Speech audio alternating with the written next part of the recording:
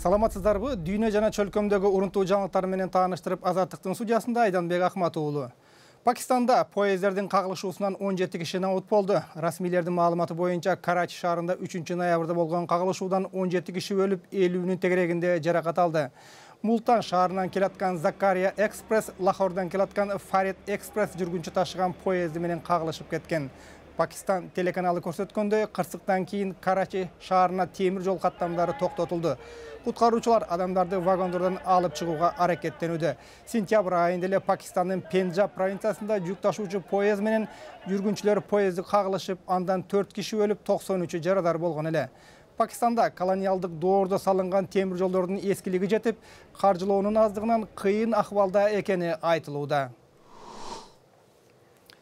акш жана түркия ракка шаарын ислам мамлекетинин жоочуларынан бошотуу боюнча сүйлөшүү жүргүзүүдө. Бул тууралуу акшнын коргоо министри эштон картер билдирди биз ракка шаарын бошотуудагы түркиянын ролун анкара менен талкуулап жатабыз. Учурда операция өзүбүздүн планга ылайык улантылып жатат деди картер экинчи ноябрда маалымат жыйынында.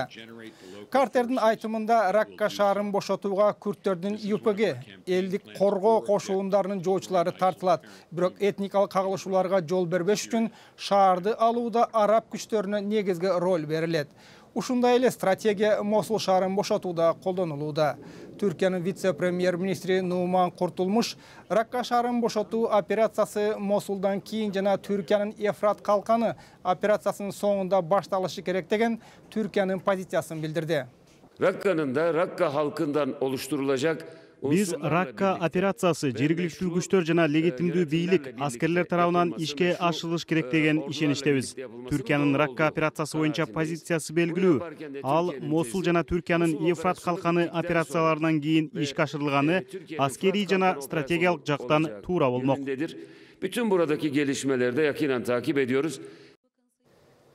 Түркия акшнын колдоосу менен күрт түзүлүштөрүнүн бекемделүүсүнөн чочулап ракка операциясына күрт күчтөрүнүн тартылышына каршы чыгууда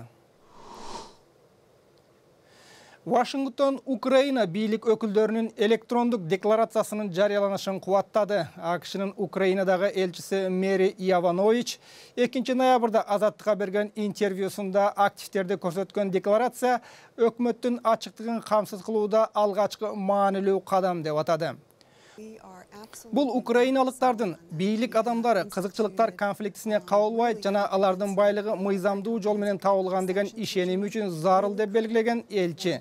Азыркы кезде украин чиновниктеринин мүлк декларациясын журналисттер жана украинанын антикоррупциялык агенттиктери карап жатканын жана аларды иликтөө андан кийинки экинчи маанилүү кадам болоорун элчи йованович айым белгилеген.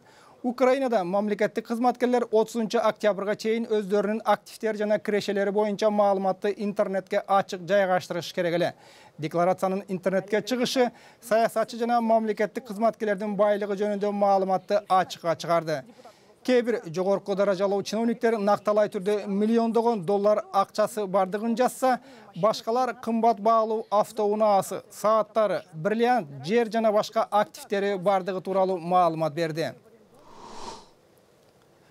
тажик өкмөтү улут лидерин ачык түрдө кордогондорду жазалоо тууралуу токтом кабыл алды тажикстандын кылмыш кодексине андай өзгөртүү киргизүүнү сунуштаган токтомго тажик улутунун лидери президент эмомали рахмон кол койгонун азаттыктын тажик кызматы кабарлады токтомдо улут лидерин интернет социалдык түйүндөрдө жана башка маалымат каражаттарында ушактаган же кордогондорду беш жылга чейин эркинен ажыратуу каралган тажик өкмөтүнүн бул чечими парламентке жөнөтүлөт тажик парламенти бир жума мурун тынчтык жана улуттун биримдигин негиздөөчүсү улут лидери жөнүндө конституциялык мыйзам кабыл алып ага ылайык президент эмомали рахмон көз карандысыз тажикстандын негиздөөчүсү болуп жарыяланды.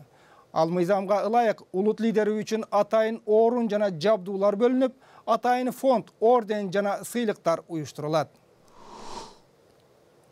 Казакстанда актер жана продюсер туңгушбай жаманкулов кармалды азаттыктын казак кызматынын маалыматы боюнча актер феникс фильмин тартуу үчүн бөлүнгөн каражатты кымырып алган деген шек менен антикоррупциялык улуттук бюро тарабынан экинчи ноябрда кармалды тергөө алтымыш тогуз миллион тенге жаманкулов негиздеген тк туран универсал бизнес фирмасы аркылуу уурдалып кеткен деп шектелүүдө Туңгушбай Жаманкулов жакында эле Казакстан театр ишмерлер бирикмесинин төрагасы катары жаш актриса Энлик Сыдыкованы колдоп чыккан. Жаш актриса Казакстандын маданият жана спорт министри Арыстанбек Мухамеди уулуну сексуалдык мүнөздө асылган деп айыптаган эле. Министр аны жалган ушак деп четке каккан. Арыстанбек Мухамеди уулу кыргыз кыз келиндери Орусияда ажааткана тазалап жүрөт деп Кыргызстанда кескин нааразылык жаратканы. Мына ушул жана башка жаңылыктар биздин сайтта да бар. Дареги азаттык орг, ошондой эле биздин видеолорду бардык соц тармактардан, YouTube, Facebooktан көрсөңүз болот. Ал жактардан Кыргыз азаттык алгысы же азаттык медиа деген аталышта издеңиз. Саламатта туруңуз.